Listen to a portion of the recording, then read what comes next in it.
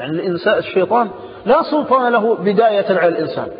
لكن إن سلم الإنسان قيوده للشيطان فقد ملكه نفسه. إذا سلمه قيوده صار له سلطان عليه. لكن إذا ملك الإنسان نفسه لا يستطيع الشيطان أن يتسلطن عليه؟ إنما سلطانه على الذين يتولون والذين هم به مشركون. أما أهل الإيمان الحق فإن الشيطان لا سلطان له عليه. منهم عمر بن الخطاب رضي الله عنه. يقول والذي نفسي بيده يا عمر ما رآك الشيطان سالكا فجا إلا سلك فجا آخر. شاف ماشي في دربه الشيطان شاف, شاف عمر الخطاب قال لا للخلف جر. يمين دور لدرب ثاني بيرشم. دخل حضيض دخل جفرة دخل المهم ما يشوف عمر. في الطريق لا وفي رواية أخرى لفظ آخر. والذي نفسي بيده يا عمر ما رآك الشيطان منذ أن أسلمت إلا انكفى أعلى وجهك. أول ما يشوف طاح على وجه الشيطان يشوف عمر رضي الله عنه.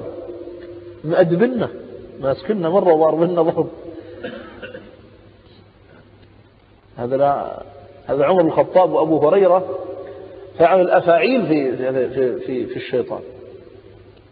أبو هريرة ذكرت لكم أنه مسكه وضربه وعلى صدره وكذلك عمر الخطاب ضربه ضربه مبرع والنبي صلى الله عليه وسلم خنق إبليس خنق خنق الشيطان. يقول وكدت أن أربطه على السارية تشوفوه الصبح.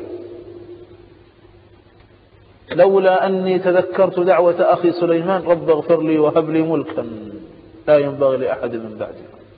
إنك أنت الوهاب. فتركت هذه الكلمة ترى ترجاها ولا خذ العبارة اللي أنتظر لأن ما جبت الحديث في مكان إلا وجاب العبارة. لو خنقه وخلصنا فكنا من شرها.